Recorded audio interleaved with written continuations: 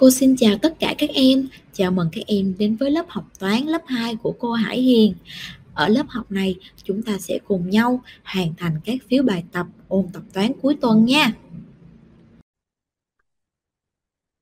Cô xin chào tất cả các em. Hôm nay chúng ta sẽ cùng nhau ôn phiếu ôn tập toán của tuần 27 nhé. Ở tuần này mình sẽ cùng nhau ôn về mét, km, khối trụ và khối cầu nha. Đầu tiên mình có à các số đo như là cm, mét, km, dm. Mình sẽ cùng nhau đọc số nha các em. À, mình sẽ có các chữ số như sau. Cái số này được đọc như sau là 575 cm. À, bạn nói vào đây 575 cm. Đó, mình sẽ nói với cách đọc đúng nhất nha. Tiếp theo 452 à km rồi 452 km ở đây. Rồi, tiếp theo nè. 575 mét. À 575 mét. Rồi, ở đây. Bạn nói lại nha. 425 à km rồi, các bạn nói này. Đó. tiếp theo nè. 601 decimet rồi các bạn nói ở đây. Rồi 601 à, mét. Rồi các bạn tiếp tục nói đây. Đó vậy là mình đã hoàn thành xong bài tập số 1 đó là mình à, nối các số đo và cách đọc đúng của các số đo đó rồi. Tiếp theo mình sẽ đến với bài tập số 2 bài tập số 2 là chọn số thích hợp trong các số sau rồi viết vào chỗ trống. Rồi tủ lạnh nhà em cao khoảng à cao khoảng bao nhiêu này các bạn? Ừ. 2 dm là 20 cm là đúng không? À không đúng. 580 dm là có là có cao không? À rất là cao, không phù hợp nè. Vậy là à 18 dm 18 dm thì sẽ bằng à sẽ bằng à 180 cm đó, cao bằng gần, cao hơn một người trưởng thành một chút ha. Là đúng rồi nha quãng đường từ nhà em đến trường là khoảng à 580 là có phù hợp không? À không, tại vì rất là xa ha, km là rất xa. Vậy còn 2 km? À có phù hợp là cứng, gần nhà. À rồi. Sân trường của bạn Vũ dài khoảng à dài khoảng 580 mét là phù hợp nha đó một cái sân trường của mình đa số là sẽ dài từ 400 tới 800 mét ha các bạn. Rồi tùy theo là quy mô của sân trường nó to hay nhỏ nha. Bây giờ chị, chúng ta sẽ cùng nhau xem bài tập số 3 này là các à, đơn vị đo này đã đổi nè à, bằng nhau nè xem là đúng hay là sai. Nếu mà đúng thì mình ghi the sai thì ghi sờ. Ở đây có các đơn vị đo như là km nè à mét nè dm và cm thì trước khi mình vào cái bài này để mình biết đúng hay sai, thì cô và các em sẽ cùng nhau ôn bài cũ nha. Ôn bài cũ thì mình sẽ viết lại à các cách đơn vị, các cách đổi đơn vị đo. Rồi, bây giờ cô sẽ chỉ cho các bạn cách đổi đơn vị đo ha. Rồi, đầu tiên nè à mình sẽ có như là một km thì bằng bao nhiêu mét nè các bạn? À một km thì sẽ bằng à một km bằng một ngàn mét. Đó, một km sẽ bằng một ngàn mét. Tiếp theo, rồi, mình tiếp theo mình sẽ có là à à mình sẽ có là một mét thì bằng bao nhiêu decimet này? Các bạn có nhớ bài cũ không? À một mét thì sẽ bằng à 10 decimet. Rồi, vậy à một mét, một decimet thì sẽ bằng à bằng 10 cm rồi rồi. Đó.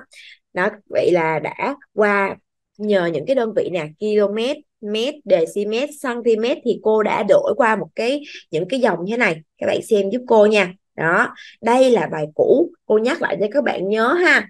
Rồi, bây giờ dựa vào cách đổi mà cô đã hướng dẫn rồi, bây giờ mình sẽ cùng nhau xem là cái hai bảng này đã làm đúng hay chưa nha.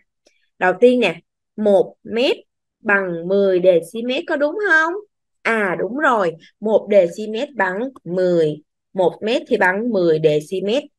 Tiếp theo nè, 1 km bằng 100 cm các bạn thấy có đúng không? À hoàn toàn là không đúng. Trong khi đó là 1 km đã bằng 1.000 mét rồi thì 1 km bằng 100 mét là là sai nha. Tiếp theo nè. 100 cm bằng 1 dm ờ, là đúng hay sai? Các bạn nhìn vào bảng của cô nè. À là sai rồi. Thì mình sẽ ghi ghi sờ. Rồi, tiếp theo. 8 dm bằng 80 cm là đúng hay sai?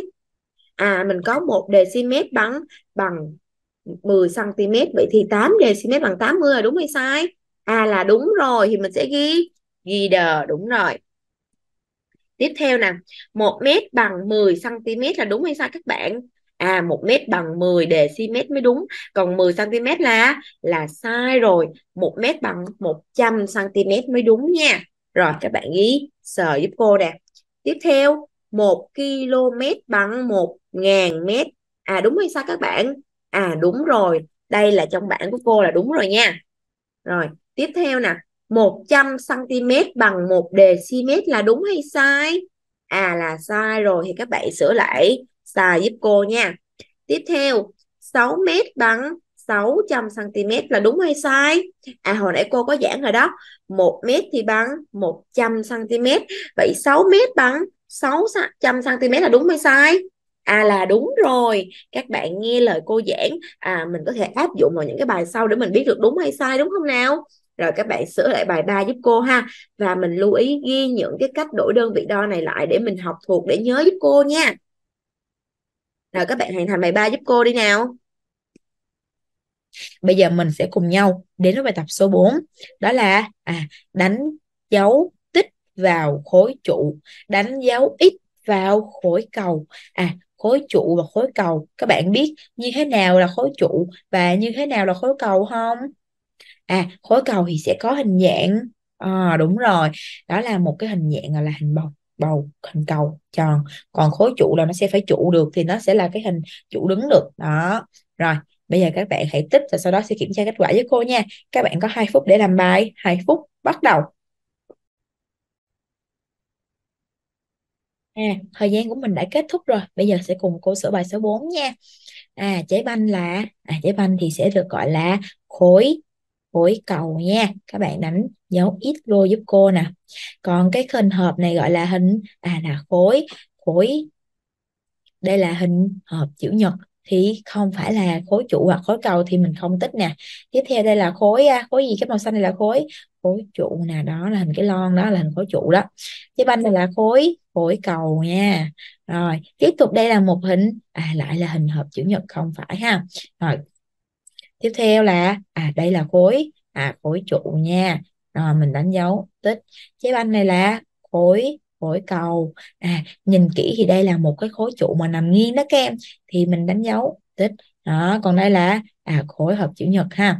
Rồi, hai hình này mình không tích vào bởi vì nó không nằm trong khối trụ và khối khối cầu nha.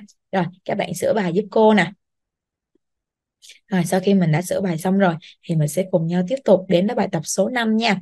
Bài tập số 5 này các bạn quan sát tranh vẽ dưới đây rồi viết số thích hợp vào chỗ trống nha. À mình sẽ cùng nhau tìm à vật có dạng là khối lập phương bao nhiêu nè. Đó, rồi sau đó dạng dạng có hình trụ nè, dạng có hình à, vật có dạng hình khối cầu nè và dạng à, khối hợp chữ chữ nhật. Rồi mình cùng nhau đếm nha. Rồi bây giờ mình đếm mình sẽ điền ha. Đầu tiên là khối lập phương. À khối lập phương thì bao nhiêu hình các bạn? À khối lập phương là mình sẽ có một nè. Còn nữa không? Khối lập phương là cái Rubik nè. Là à rồi sẽ có một khối lập phương. Tiếp theo là dạng khối cầu là những cái trái banh tròn tròn đó. Đây, một, hai, ba. À có tổng cộng là ba khối cầu. Tiếp theo là dạng khối trụ. À khối trụ khá là nhiều nha. Mình đếm nào. Hộp một hộp quà. Hai hộp quà nè. Một hai ba bốn. À, tổng cộng là có bốn à, dạng khối khối trụ ha. À rồi. Tiếp theo là dạng có khối hợp chữ nhật là một hai à tổng cộng là sẽ có hai khối hợp hình hình chữ nhật ha.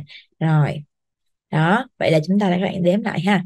1 2 3 4 5 6 7 8 9 10 đó, còn mình đã tìm được trong đây là à cũng là à các bạn đếm với cô nè. 1 2 3 4 4 trụ nè. Và hình dạng hộp chữ nhật là à 1 2 đúng rồi. Rồi đó tổng cộng là mình đã tìm đủ được. À, các hình rồi ha. Ở đây có 11 vật và 10 hình mình đã tìm được. Chỉ có một hình này là mình không tìm bởi vì nó không nằm trong à bốn dạng bốn dạng hình của chúng ta đang tìm nha. Tiếp theo mình sẽ đến với bài tập số 6 bài này mình sẽ khoanh vào à chữ cái trước ý trả lời đúng ha. Sợi dây dài nhất. Sợi dây thứ nhất dài 2 mét, sợi dây thứ hai dài 9 dm cả hai sợi dây dài bao nhiêu? À các bạn đếm nè một mét thì bằng bao nhiêu dm à một mét bằng 10 dm vậy 2 mét thì bằng 20 dm 20 dm cộng với 9 dm thì được à 29 dm đó, các bạn phải đổi ra cùng một đơn vị đo để mình tính độ dài của hai hai sợi dây nha bài này khá là đơn giản, các bạn làm nhanh giúp cô nha. Tiếp theo, mình sẽ cùng nhau à so sánh. Trước khi mình so sánh thì sao? Mình phải tính tất cả các phép tính trong đây trước. Nè, đầu tiên nè 42 cộng với 13 là à là 55 dm rồi 94 trừ 21 là bằng 70 70 bao nhiêu nè? 73 mét. Rồi 5 5 5 mét thì bằng à 500 cm phải đổ ra đơn vị đo hết và tính kết quả cho cô nha. Tiếp theo 96 km trừ cho 46 km thì bằng à bằng 50 km 5 40 dm cộng với à 50 dm thì bằng à 90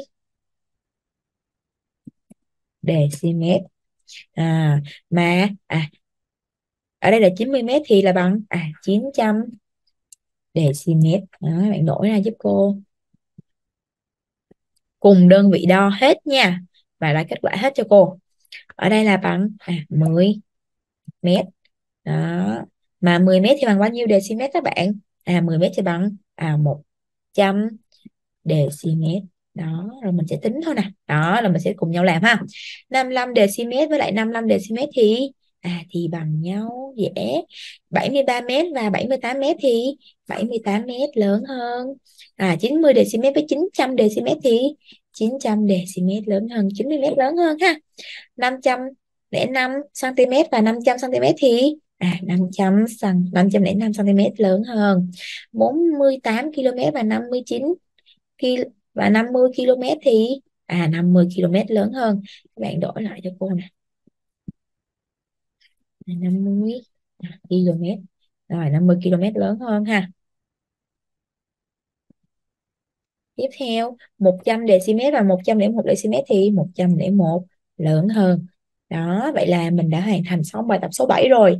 Lưu ý giúp cô, mình sẽ cùng nhau nè tính các phép tính trong bài giải số 7 này. Sau đó sẽ đổi lại cùng đơn vị đo để mình so sánh hai hai cái độ dài với nhau nha. Rồi, cô sẽ đọc đề bài số 8 cho các bạn nghe nha. Quãng đường từ thành phố Hồ Chí Minh đến Biên Hòa dài 35 km. Quãng đường từ thành phố Hồ Chí Minh đến Long An dài 30 km. Hỏi quãng đường từ Long An đến Biên Hòa à đi qua thành phố Hồ Chí Minh dài bao nhiêu km? Đây, từ Hồ Chí Minh qua Long An 30, từ Hồ Chí Minh ra Biên Hòa 35. Vậy từ Long An qua Biên Hòa bao nhiêu thì mình làm sao? À, mình lấy từ Long An thành phố cộng từ thành phố về Biên Hòa là sẽ ra được từ Long An về về biên hòa ha. Rồi, là mình sẽ làm sao nhỉ? Số, như cô đã chỉ nè, ký lô mét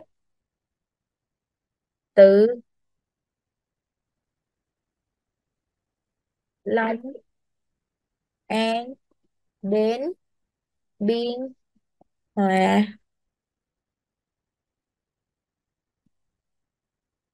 Dài là rồi sau đó mình lấy à từ Long An tới thành phố cộng với thành phố đến Biên Hòa ha. Tại vì thành phố ở giữa nè mình cộng cả hai đoạn lại thì sẽ bằng một đoạn dài từ Long An về Biên Hòa ha. Là 30 cộng cho 35 thì sẽ bằng à, bằng 60 615 km nào các bạn như lại giúp cô nha. Km rồi sau đó mình đáp số với cô nha. Là 65 km rồi đó. Vậy là mình đã hoàn thành xong bài tập số 8 rồi. Bài tập số 8 này là mình tính tổng à, quãng đường từ Long An đến Biên Hòa qua được cái sự việc là từ Long An tới thành phố và từ thành phố về Biên Hòa. Cộng hai đoạn lại sẽ bằng một đoạn dài ha. Rồi, à Bài tập số 8 này cũng là bài tập cuối cùng của phiếu ôn tập ngày hôm nay rồi. Phiếu ôn tập ngày hôm nay chúng ta sẽ chủ yếu là ôn kỹ về các vật có dạng là khối lập phương nè, à, khối hợp chữ nhật nè, khối trụ và khối cầu. Các bạn xác định giúp cô ha và ôn kỹ hơn về phần à, cm, decimet, mét và km để mình có thể áp dụng vào thực tế kèm theo đó là mình đã ôn hơn kỹ sâu về cái phần mà đọc số rồi ha các bạn nhớ ôn tập kỹ bài để tuần sau à, mình có thể làm bài tốt hơn nha. Cô xin chào và hẹn gặp lại các bạn vào phiếu ôn tập của tuần sau.